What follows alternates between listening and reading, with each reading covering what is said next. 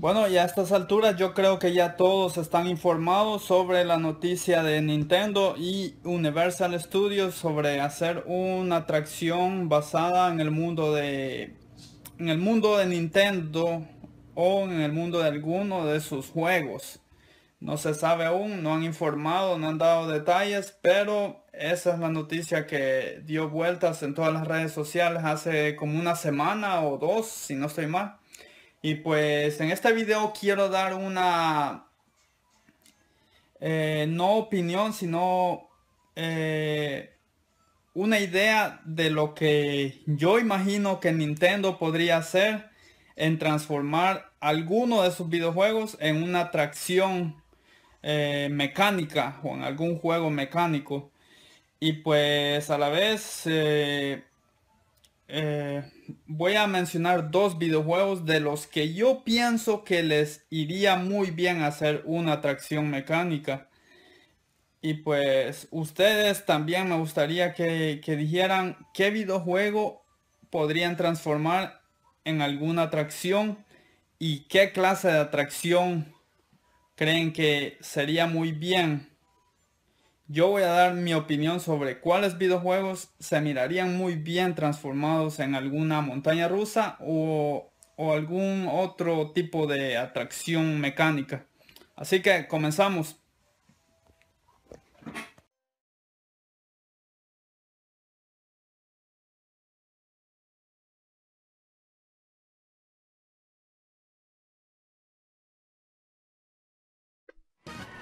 Yo creo que muchas personas coincidimos de que Mario Kart se miraría muy bien convertido en una atracción mecánica.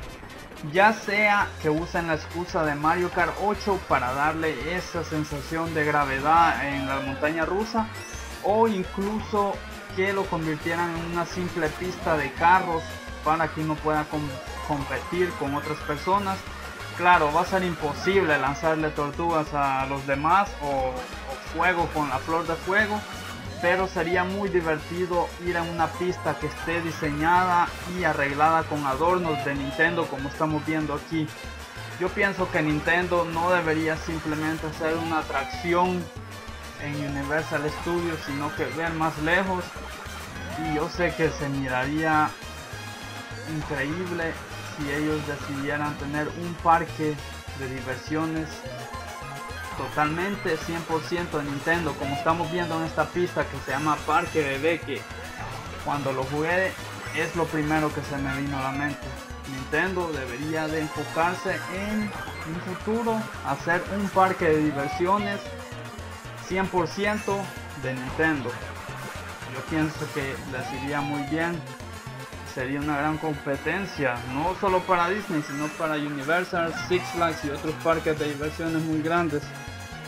Y esta es mi primer eh, apuesta a, un, a una atracción con un juego en Nintendo.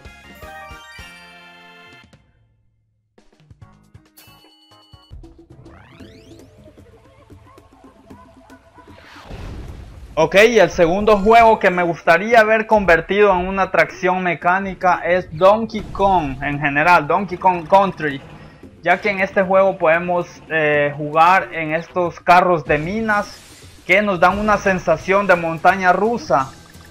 Yo pienso que sería una muy buena excusa para hacer una montaña rusa de madera. En este caso creo que la de madera sería un mejor, una mejor opción para este juego. Yo me he subido a montañas rusas de madera y son muy rápidas, muy divertidas y creo que eh, si decidieran basarse en estos niveles que estamos viendo, esa sería la mejor opción.